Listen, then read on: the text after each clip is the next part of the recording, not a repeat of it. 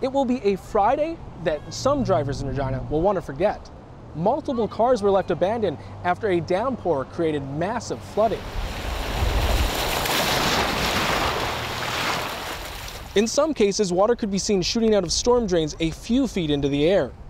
Low-lying areas of the city, especially underpasses, quickly turned into lakes. And despite warnings from officials for drivers to not attempt to cross flooded areas, emergency vehicles had to be called in at multiple locations. A rescue boat was even used to reach people who were stuck in deepening pools of water. Officials have previously said they were looking at ways to mitigate flooding of the city's underpasses. That includes at Albert Street and Saskatchewan Drive, which is recorded to have flooded as early as 1912. We've got a lot of infrastructure in and around Saskatchewan Drive and Albert. And in order to try and determine the best engineered solution to how we deal with the water at that point, it takes time for us to look at that. That process has actually started.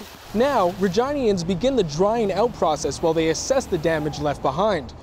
And it looks like those hoping for a quick solution to the flooding problems in Regina's underpasses could be up a creek without a paddle. Alexander Quon, CBC News, Regina.